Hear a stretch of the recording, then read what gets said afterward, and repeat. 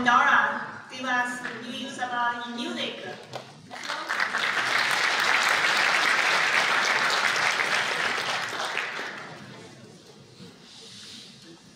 Hi everyone, my name is Vito, and today I'm going to talk about how we use personalization to power voice interactions at Pandora. So Pandora is the largest music streaming service in the United States. We apply personalization everywhere. For example, search, search ranking are driven by personalization. If you create a station, all the songs are driven by ensemble or personalized recommendations as well. And we launched podcast last year, and podcast discovery is driven by recommendations too. But today I'm going to talk about voice. Early this year we launched Voice Mode, which is the native in-app voice experience. And here I'm using Tao, she's my manager, she's a sub-producer. She says, hey Pandora, which is the wake word. This will trigger voice mode. Now voice mode is waiting for Tao to say something else. And she says, play party music. And then Pandora finds this party soundtrack, which is recommended to her, and starts playing this playlist. I want to point out here that uh, we don't show results that users to click on, but we start playing the result directly. That means that we have a top one recommendation problem. And we don't observe clicks, but we have to infer from playtime if that was a success or not. So we use both search and recommendation technologies to power this experience. And we classify user queries in three main categories. The first one is the known item query. Here the user is looking for a specific item, for example, Drake. And this is pretty much a search problem. However, we'll see how we can use personalization to improve the experience. Then we have thematic queries. It's very common in voice for users to ask for music regarding activity, genre, combination of activity and genre, and so. In this case, the user is looking for some workout music. And this is a task between search and recommendation. In fact, we both techniques to power this uh, problem. Then the last one are the open-ended queries. These are more like convenience queries where users don't want to go to the burden of thinking about what to ask for and rely on Pandora to come up with the best music for that. This is a key recommendation task. So let's start with the known item queries. For example, Drake, here the intent is very clear, the user is looking for the artist. This may seem an easy challenge, easy problem to, to, to solve, however there are many challenges. The biggest one is that the output of the ASR, which is the automated speech recognition, sometimes can be noisy and may contain some errors.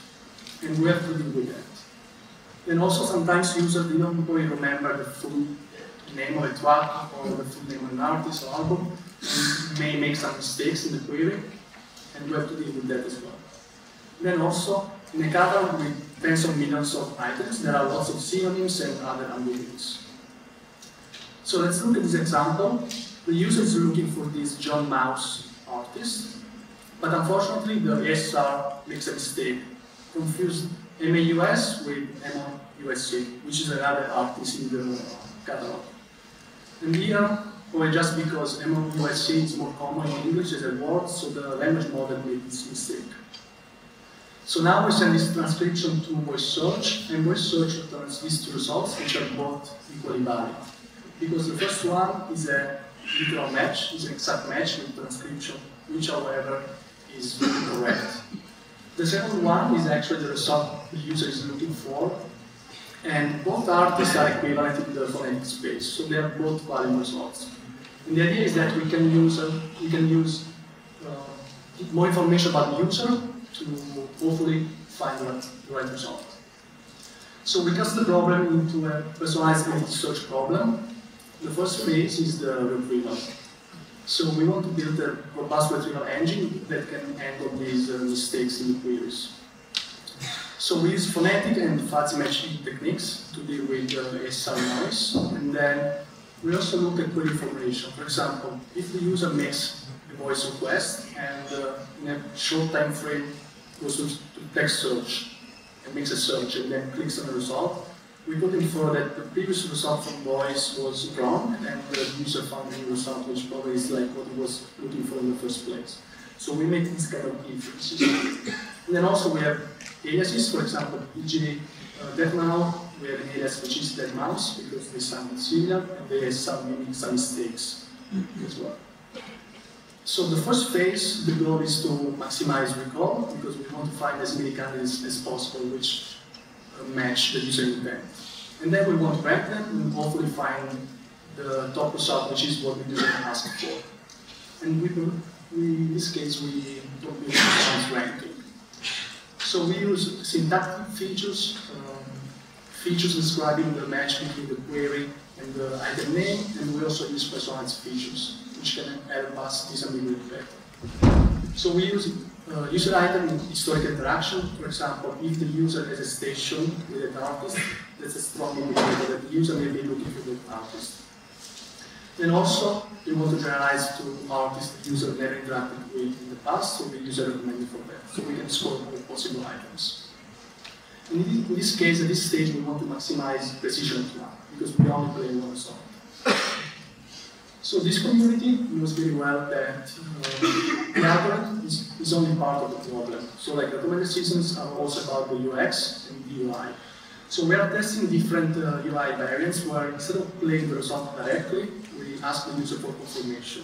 So we, like, when we have a low confidence in the result, we can ask user to confirm that and collect explicit feedback. For example, if we know that the user has a station with his artist, we may just ask, do you want me to play your John Maus radio?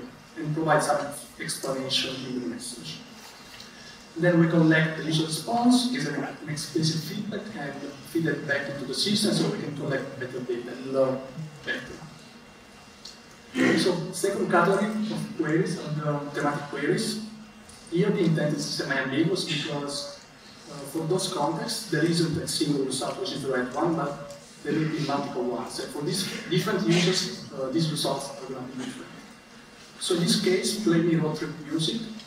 The first thing we need to do is to uh, predict what's the right intent here. Is the user looking for some music for the activity driving, or is looking for the road trip result? So let's see how we solve this. So we have a multi-stage approach again. The first phase is about the prediction and uh, tagging. So we use slots filling model, we use a bidirectional LSTM model with a conditional field on top. And this model is going to predict each word and assign a tag to it in the query. So now we have a structured representation of the query, and we send it to the retrieval engine. So here we have tagged content and index this content using the same taxonomy that we use for the slots field. So they basically share the same of vocabulary. And we perform a tag-based search, which is basically semantic search. So here we get back few candidates and we have to rank them. Now this is a recommendation task. So we use user item affinity, which is based on the matrix factorization model, model. And then we also use, use result relevance. Here we want to balance the trade-off between query specificity and uh, personalization. So since personalization is a global signal here, we also, we also want to take into account how good is that result for the query.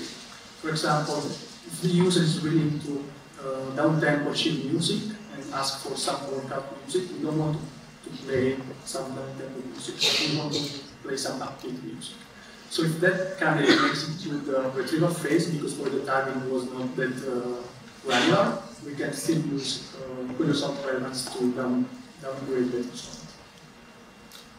Then also, since we only get to play one result at a time, when the systems make mistakes sometimes, and if the first result was not great, and the user asks again for the same query, we want to take that into consideration. So we want to represent user state, keep back the history, and apply some diversification. So we don't play the same result all over again.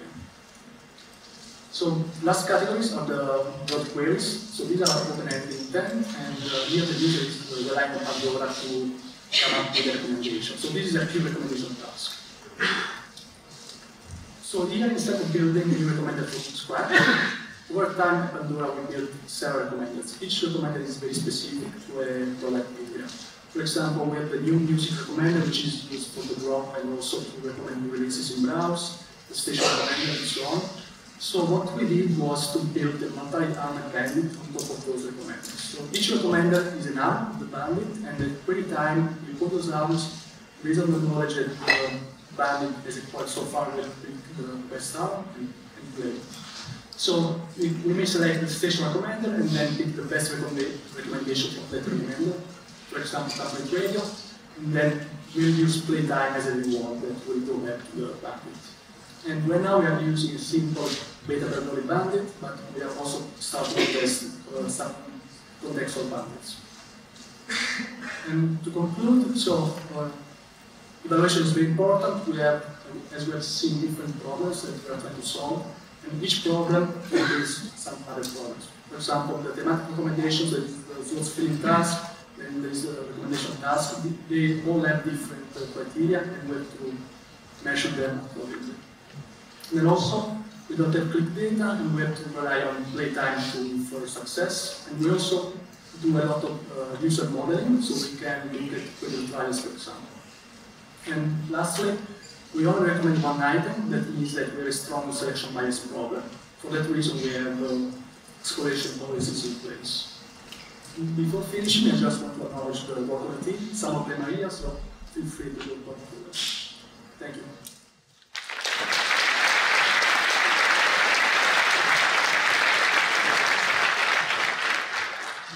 Take one question. Okay, thank you.